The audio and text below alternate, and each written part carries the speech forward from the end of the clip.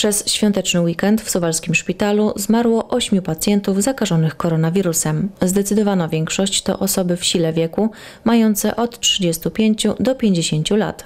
Ze smutkiem mówi Adam Szałanda i dodaje, że w ocenie medyków pracujących w Suwalskim Szpitalu czwarta fala ma wciąż charakter progresywny. Tylko w ciągu ostatnich 24 godzin przyjęliśmy 11 nowych pacjentów, którzy na tyle ciężko przechodzą zakażenie, że ich hospitalizacja jest konieczna informuje. W szpitalu pod respiratorami jest 11 chorych na SARS-CoV-2.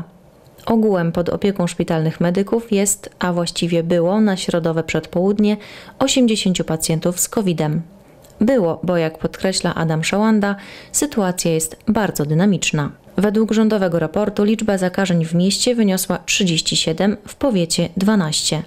Prawdziwy pogrom nastąpił w powiecie augustowskim, gdzie odnotowano w ostatniej dobie 55 zakażeń, aż 15 w powiecie sejneńskim.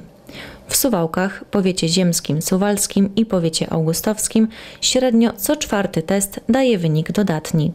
W powiecie sejneńskim w ciągu ostatniej doby zakażenie potwierdzało co drugie badanie.